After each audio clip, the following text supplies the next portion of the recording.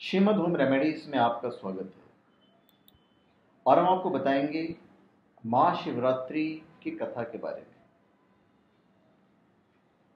प्राचीन काल में एक चित्रभानु नामक एक शिकारी रहता था। जानवरों की हत्या करके वह अपने पूरे परिवार का पालन किया करता था। पर उसने किसी से कर्ज लिया हुआ था।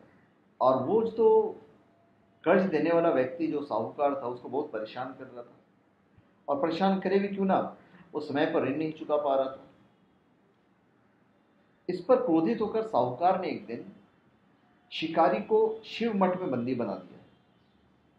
अब इत्तफाक उस दिन ये था कि उस दिन महाशिवरात्रि।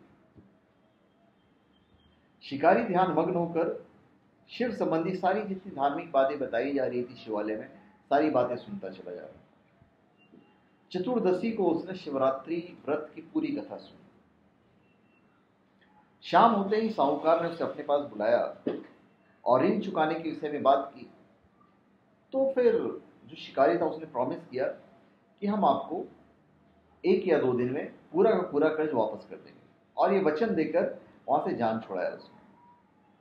अब उसकी जो रोज की जो दिनचर्या थी शिकार खेलने की वो चला गया जंगल में शिकार करने के लिए, क्योंकि उसी से भाई उसका रोजी रोटी वही चलता था। लेकिन पूरा दिन बंदीगिरी में रहने के कारण उसकी हालत खराब थी।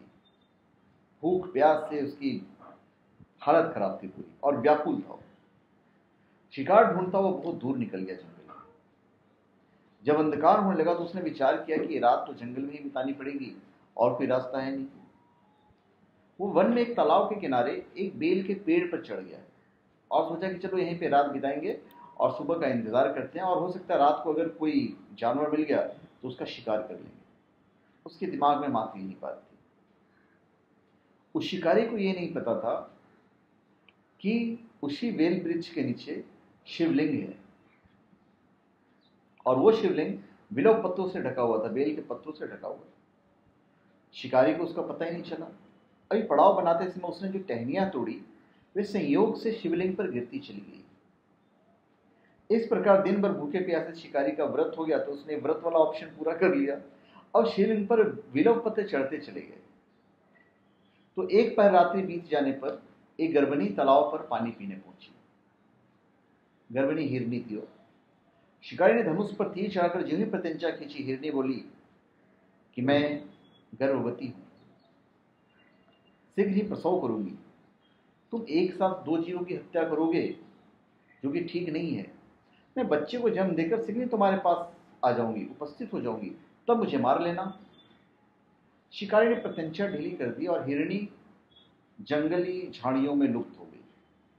प्रत्यंता चढ़ाने और ढीली करने के वक्त जो वृक्षों में जो कंपन हुआ, उससे कुछ जो बेलपत्र थे, वो अनायास ही टूटकर शिवलिंग पर गिर गए। तो इस प्रकार अनजाने में ही उसके प्रथम पैर का जो पूजन था, वो भी संपन्न हो गया। उपवास पूरा हो गया, प्रथम पैर का जो पूजन था, वो संपन्न हुआ। उसके बाद कुछ देर बाद एक और हिरनी उधर से निकली। शिकारी की प्रसन्नता का ठिकाना ही नहीं रहा, बोले, चलो तो एक गई, दूसरी आ गई। समीप आने पर उसने धनुष पर फिर वान चढ़ाया। तब तो उसे देखकर हिरण ने विनम्रतापूर्वक निवेदन किया कि, हे शिकारी, मैं थोड़ी देर पहले ऋतु से निवृत्त हुई हूँ, कामातुर अपनी प्रेमी की खोज में भटक रही हूँ। मैं अपने पति से मिलकर शीघ्र ही तुम्हारे पास आ जाऊँगी। उसके बाद मुझे मार लेना। शिकारी ने उसे भी जाने दिया। तो दो बार शिकार को खोकर उसका माथा ठनका, वो चिंता में पड़ गया। रात्रि का आखिरी पहर बीत रहा था। अब इस बार भी जब उसने धनुष उठाया तो धनुष जब उठाया तो उसके हाथ वाथ थे और इधर जो हिले डुले तो कुछ बेलपत्र गिरे और बेलपत्र सीधे जाकर शिवलिंग पर गिरे और अनजाने में उसका दूसरा पैर का पूजन भी संपन्न हो गया। तभी कन हिरणी अपने बच्चों के साथ उधर से निकली। शिकारी बोला, बॉस, आज तो किस्मत हाथ, साथ में है। यह स्वर्णिम अवसर है। उसने धनुष पर तीर चढ़ाने में देर नहीं लगाई। वो तीर छोड़ने ही वाला था कि हिरनी बोली, हे शिकारी, मैं इन बच्चों को इनके पिता के हवाले करके लौट आऊँगी। इस समय मुझे मत मारो, वरना मेरे बच्चे अनाथ हो जाएँगे, इन्हें पिता इनके नहीं मिल पाएँगे। शिकारी हंसा और बोला कि, सामने आए शिकार को छोड़ दो मैं ऐसा मूर्ख आदमी नहीं हूँ। इससे पहले मैं दो बार अपना शिकार खो चुका हूँ। मेरे बच्चे भूख, प्यास से व्यग्र हो रहे होंगे। उत्तर में हिरणी बोली कि जैसे तुम्हारे बच्चे की ममता तुम्हें सता रही है, ठीक वैसी मुझे भी है। इसलिए हे शिकारी, मेरा विश्वास करो, मैं इन्हें इनके पिता के पास छोड़कर प्रतिज्ञा करती हूँ कि मैं तुम्हारे पास वापस आऊँगी, फिर तुम मुझे मार लेना और अपने परिवार का पालन पोषण कर लेना। हिरनी का दीन स्वर सुनकर शिकारी को उस पर दया आ गई। और बोला कि ठीक है चाओ मृगनी को उसने जाने दिया। अभी शिकार के अभाव में था तो भूख प्यास से व्याकुल शिकारी अनजाने में ही बेल वृक्ष पर बैठा हुआ बेलपत्र तोड़ तोड़ कर नीचे फेंकते जा रहा था। इसको फ्रस्ट्रेशन लेवल कहते हैं। अभी पौ फोड़ने की हुई तो एक हिस्ट पृष्ठ मृग उसी रास्ते पर आया। शिकारी ने सोचा कि इसका तो शिकार वो अवश्य करेगा। शिकारी की तनी प्रत्यंशा देखकर मृग विनित स्वर में बोला, हे शिकारी मैं तो तुम्हारे सामने हूँ, जब चाहो मार सकते हो। पर ये तुमने मुझे, मुझसे पूर्व आने वाले तीन मृगियों द्वारा छोटे छोटे बच्चे को मार डाला है तो मुझे भी मारने में विलंब मत करो। क्योंकि वो भी अपने उन तीन हिरणियों को ढूंढ रहा था, क्योंकि वो तीन हिरणियाँ एक्चुअली में उसकी पत्नियाँ थी या प्रेमिकाएँ थी कहता है तो मुझे ही मार डालोगे उस तीनों को मारे हो तो ताकि मुझे वियोग में एक क्षण भी दुख न सहना पड़े। मैं उन हिरणियों का पति हूँ यदि तुमने उन्हें जीवन दान दिया है तो मुझे भी कुछ क्षण के लिए जीवन देने की कृपा करो। मैं उनसे मिलकर तुम्हारे समक्ष उपस्थित हो जाऊँगा और यही नहीं, अगर तुमने उन्हें जीवित छोड़ा है उन्होंने भी यही प्रॉमिस किया होगा तुम इन तीनों के साथ में तुम्हारे पास आऊँगा मृग की बात सुनते ही शिकारी के सामने पूरी रात की घटना चक्र घूम गई। उसने सारी कथा मृग को सुना दी। तब मृग ने कहा कि मेरी तीनों पत्नियाँ जिस प्रकार प्रतिज्ञाबद्ध होकर गई है मेरे मृत्यु से अपने धर्म का पालन नहीं कर पाएँगी। अतः, जैसे तुमने उन्हें विश्वास पात्र मानकर छोड़ा है, वैसे मुझे भी जाने दो। मैं उन सबको तुम्हारे सामने भी उपस्थित करूँगा। उपस्थित होता हूँ उन सबके साथ। शिकारी ने उसे भी जाने दिया और इस प्रकार प्रातः हो गई। उपवास, रात्रि जागरण तथा शिवलिंग पर बेलपत्र चढ़ने से अनजाने में ही शिवरात्रि की पूजा उसकी पूर्ण हो गई। पर अनजाने में की हुई पूजन का परिणाम से तत्काल मिला? शिकारी का हिंसक हृदय निर्मल हो गया। उसमें भगवत शक्ति का वास हो गया। थोड़ी देर बाद वो मृत सपरिवार शिकारी के समक्ष उपस्थित हुआ, ताकि वह उन सबका शिकार कर सके। किंतु जंगली पशुओं की ऐसी सत्यता, सात्विकता और सामूहिक प्रेम भावना देखकर शिकारी को बड़ी ग्लानी हुई। उसने मृत परिवार को जीवन दान दिया। तो अनजाने में ही शिवरात्रि का व्रत पालन करने पर शिकारी को मोक्ष की प्राप्ति हुई। जब मृत्यु में यमदूत उसको जीवन को लेने के लिए आए तो शिव गणों ने उन्हें वापस भेज दिया और शिकारी को शिव लोग लेकर गए। शिव जी की कृपा से ही अपने इस जन्म में राजा चित्रभानु अपने पिछले जन्म को याद रख पाए तथा महाशिवरात्रि के महत्व को जानकर उनका अगला जन्म में भी पालन कर पाए। यही थे चित्रभानु।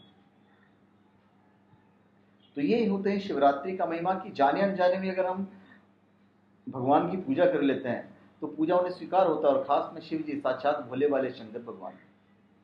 अब शिकारी के कथानुसार महादेव तो जाने अनजाने में किए गए व्रत का फल देते ही हैं, पर वास्तव में महादेव शिकारी की दया भाव से प्रसन्न हुए अपने परिवार के कष्ट का ध्यान होते भी शिकारी ने मृग परिवार को जाने दिया, उसे अपने परिवार की चिंता नहीं उसने दूसरे के बारे में सोचा। यह करुणा ही वस्तुतः उस शिकारी को उन पंडित और पुजारियों से उत्कृष्ट बना देती है। जो कि सिर्फ़ रात्रि जागरण, उपवास, दूध, दही, बेलपत्र आदि द्वारा शिव को प्रसन्न कर लेना चाहते हैं। मन में सेवा भाव होना चाहिए, मन में क्षमादान होना चाहिए। इस कथा में सबसे महत्वपूर्ण बात यह है कि इस कथा में अनजाने में हुए पूजन पर भी विशेष बल दिया गया है। इसका अर्थ यह नहीं कि शिव किसी भी प्रकार से किए गए पूजन को स्वीकार कर लेते हैं, अथवा भोलेनाथ जाने अनजाने में हुए पूजन में भेद नहीं कर सकते हैं। वास्तव में वह शिकारी शिव पूजन कर ही नहीं रहा था। इसका अर्थ यह भी हुआ कि वह किसी तरह से किसी भी फल की कामना भी नहीं कर रहा था। कोई कामना नहीं था, कोई पूजा भी नहीं थी। उसने मृग परिवार को समय एवं जीवन दान दिया जो कि शिव पूजन के समान है। शिव का अर्थ ही है कल्याण कल्याण करना। शिव का अर्थ ही है कल्याण होना। वो निरह प्राणियों को कल्याण करने के कारण ही वह शिव तत्व को जान पाया और उसका शिव से साक्षात्कार हुआ। तो परोपकार करने के लिए महाशिवरात्रि का दिन होना आवश्यक नहीं है, महाशिवरात्रि का दिवस होना आवश्यक नहीं है। पुराण में चार प्रकार के शिवरात्रि पूजन का वर्णन है। मासिक शिवरात्रि, प्रथम यादी शिवरात्रि, तथा महाशिवरात्रि। पुराण वर्णन अंतिम शिवरात्रि या नित्य शिवरात्रि। वस्तुतः प्रत्येक रात्रि शिवरात्रि। अगर हम उन परम कल्याणकारी आशुतोष भगवान में स्वयं को लीन कर दें तो हर दिन हमारे लिए महाशिवरात्रि। तथा कल्याण मार्ग का अनुसरण करें, वही शिवरात्रि का सच्चा व्रत है। तो ये हमने आपको शिवरात्रि के बारे में बताया, उसकी कथा के बारे में बताया।